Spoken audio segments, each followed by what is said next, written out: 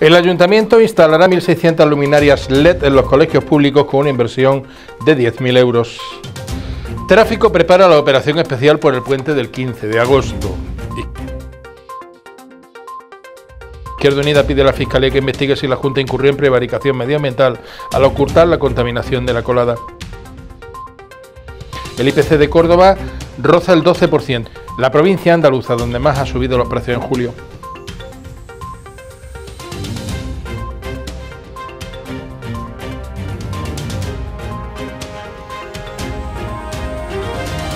Señoras, señores, saludos, bienvenidos a Informativos 54 y es viernes 12 de agosto. El Ayuntamiento de Pozo Blanco ha comenzado la instalación de nuevas luminarias LED en los tres colegios públicos de la localidad. En total serán 1.630 tubos de LED que permitirán ahorrar a los colegios cerca de 15.000 euros al año. El alcalde de Pozo Blanco, Santiago Cabello, ha explicado que se trata de una inversión de 15.000 euros, incluida la mano de obra, que incidirá muy positivamente en el ahorro de consumo energético de Pozo Blanco, además de reducir las emisiones de CO2 y la contaminación lumínica, beneficiando al desarrollo sostenible de nuestro municipio. Por su parte, la concejala de Obras y Educación, Anastasia Calero, ha explicado que ya se está procediendo a cambiar los actuales tubos fluorescentes de los centros escolares públicos por tubos LED de luz neutra, que es la más recomendada para la lectura y estudio, lo que irá además en beneficio del profesorado y alumnado.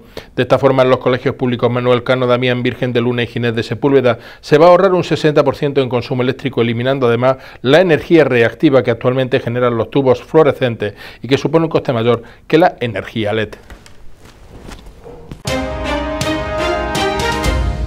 Se acerca el puente. Eh, teóricamente tendríamos que decir aquello que ya, bueno, a partir de la semana que viene se acaba la parte más dura del verano, así sea. En principio, efectivamente, se anuncia una bajada de temperatura, pero lo mismo todavía los plumas y los cobertores no tenemos que sacarlo.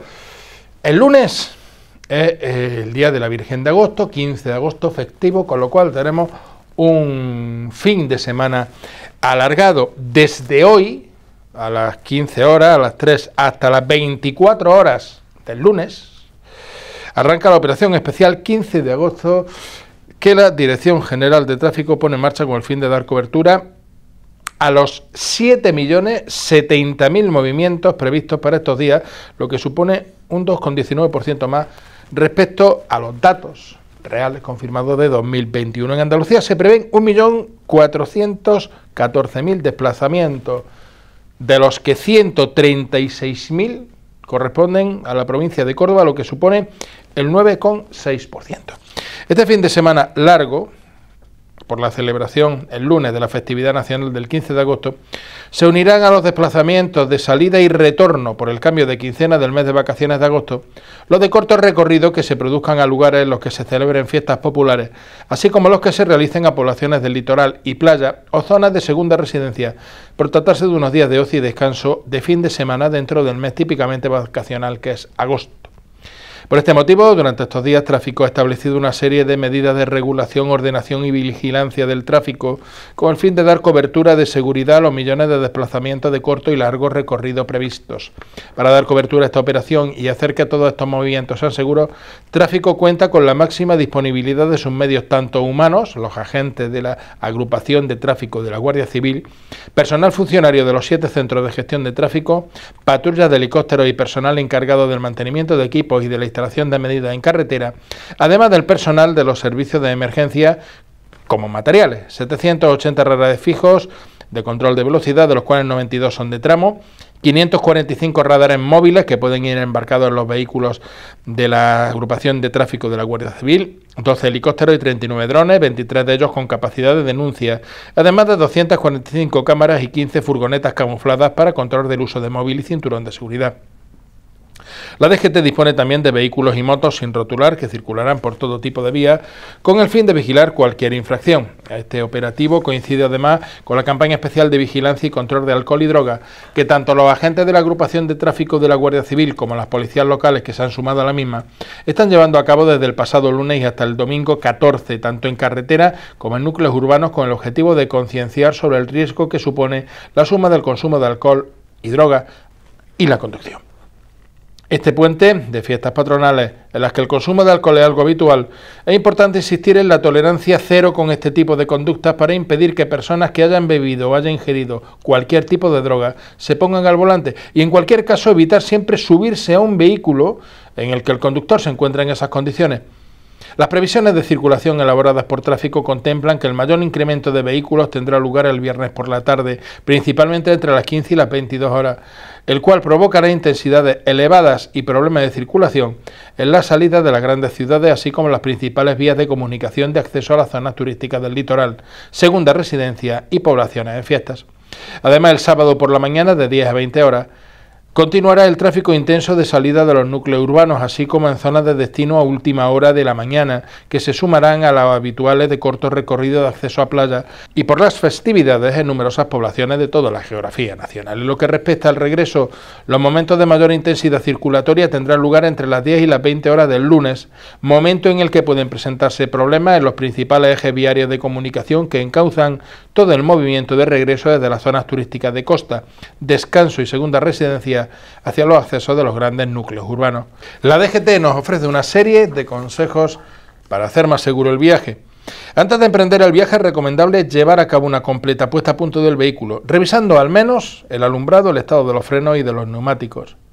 Planificar el viaje por la ruta más segura para evitar imprevistos. Las cuentas de Twitter, arroba información DGT y arroba DGT es o los boletines informativos en red y televisión, así como en el teléfono 011, se informa de la situación de tráfico en tiempo real y las incidencias que puedan existir.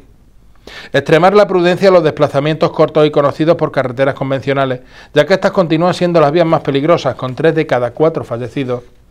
Apagar el móvil si se va a conducir o poner el modo coche en aquellos dispositivos que lo lleven incorporado.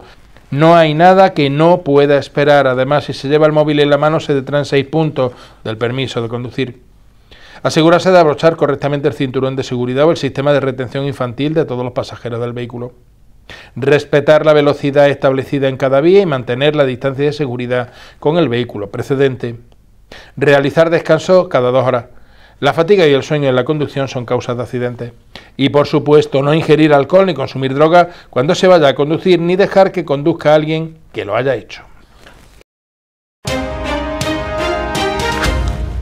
Y seguimos hablando de la colada. El coordinador provincial de Izquierda Unida en Córdoba, Sebastián Pérez, ha solicitado a la Fiscalía que investigue si la Junta de Andalucía ha podido incurrir en prevaricación medioambiental al ocultar la contaminación de la colada y ha afirmado que hay indicios suficientes para pensar que el gobierno andaluz tenía conocimiento de que las aguas del embalse estaban siendo contaminadas, si bien esperó hasta el 1 de julio, curiosamente después de las elecciones andaluzas, para informar sobre su toxicidad y prohibir el baño.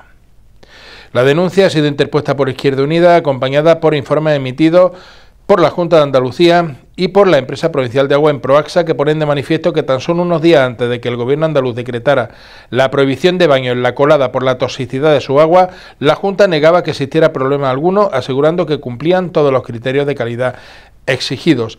En 1 de julio se hizo pública la presencia de cianobacterias potencialmente tóxicas en el embalse y posteriormente el análisis realizado por Emproaxa reveló parámetros anómalos de arsénico, plaguicida y glifosato, entre otros.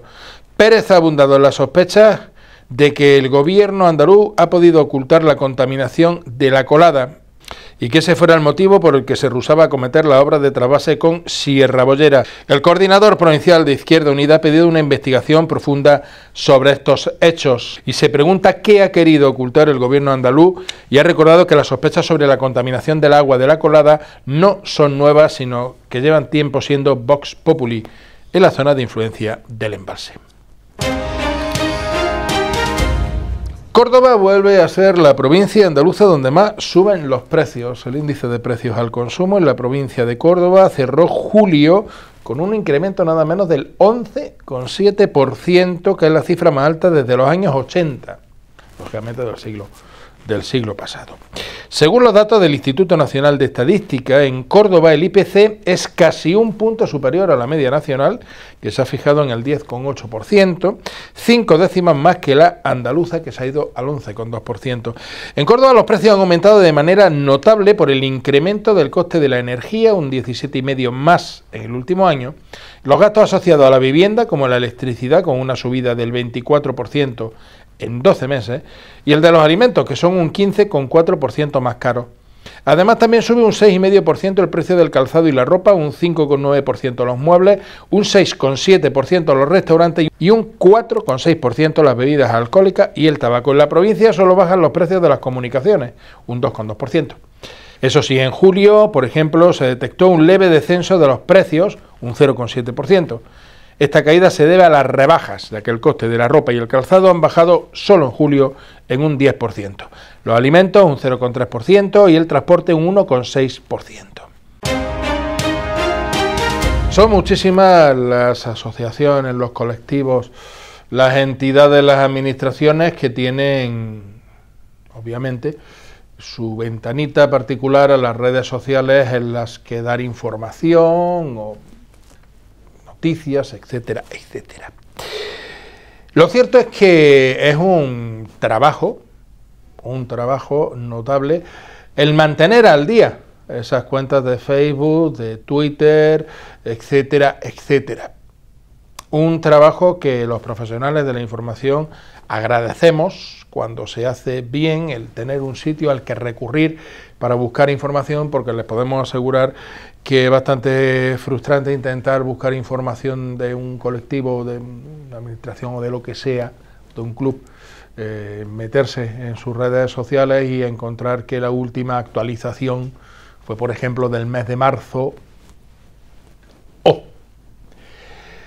Lo cierto es que el área sanitaria norte de Córdoba mantiene una cuentas en las redes sociales muy activas que se están actualizando continuamente todos los días, cuando uno entra en su cuenta de Facebook, por ejemplo, del área sanitaria norte, encuentra información renovada, puesta al día y sobre todo siempre, siempre útil. De hecho, hemos rescatado dos de las informaciones que han dado en las últimas horas, eh, cómo actuar ante un golpe de calor y recomendaciones para mantener los medicamentos con este calor.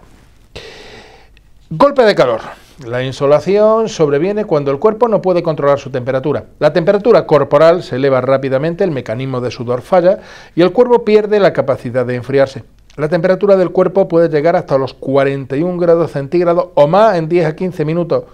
La insolación puede ocasionar la muerte o una discapacitación permanente si no se proporciona tratamiento de emergencia. ¿Cuál es la sintomatología? La temperatura corporal es muy elevada, superior a los 39 grados por vía bucal. Piel roja, caliente y seca, sin sudor. Pulso rápido y más fuerte de lo normal. Dolor palpitante de cabeza. Mareo. Náuseas. Confusión y pérdida del conocimiento. ¿Qué es lo que hay que hacer? Llevar a la persona afectada a una zona de sombra Enfríala rápidamente usando cualquier método disponible, sumergiéndola en una bañera con agua fría, bajo una ducha fría, rociándolo con agua fría de una manguera, utilizando una esponja mojada con agua fría. Vigila la temperatura de su cuerpo y sigue tratando de bajar la temperatura hasta los 38,3 grados a los 38,9.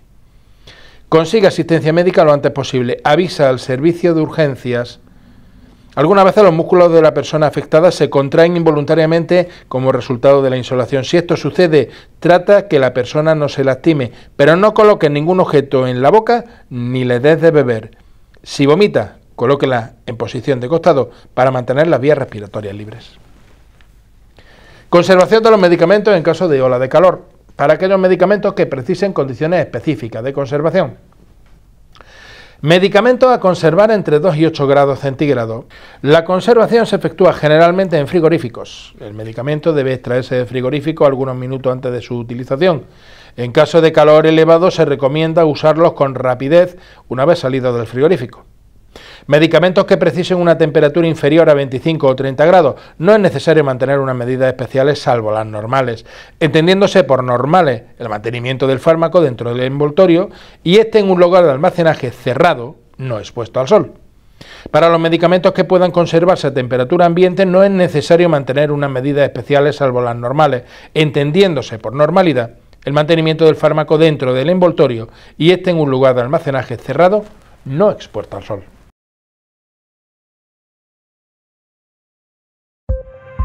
Antes de despedirnos, repasamos los titulares de la jornada. Tráfico prepara la operación especial por el puente del 15 de agosto. Izquierda Unida pide a la Fiscalía que investigue si la Junta incurrió en prevaricación medioambiental al ocultar la contaminación de la colada. El IPC de Córdoba roza el 12%, la provincia andaluza donde más ha subido los precios en julio. El área sanitaria norte actualiza continuamente la información de su cuenta de Facebook.